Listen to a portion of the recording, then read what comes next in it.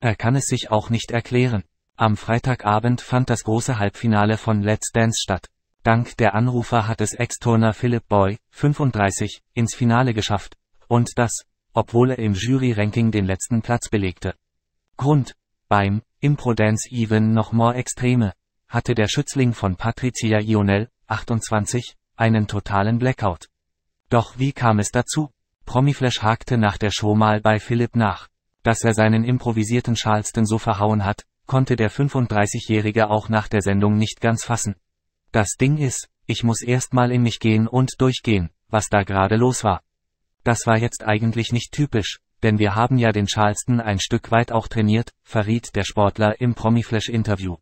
Er sei aber sehr glücklich, dass er dank der Zuschauer dennoch weiter ist. Nun stehen er und seine Tanzpartnerin Patricia im Finale. Doch was will sie ihm mit auf dem Weg geben, dass so ein Aussetzer nicht nochmal passiert? Das kann man schwer sagen, das kann jedem passieren. Ich denke, das ist auch nicht schlimm. Das hätte auch bei einem langsamen Standardtanz wie Wiener Walzer passieren können. Erklärte die Beauty gegenüber Promiflash und fügte hinzu. Vielleicht war das einfach die große Aufregung, weil wir auch dachten, dass wir als erstes tanzen, so wie es am Anfang war.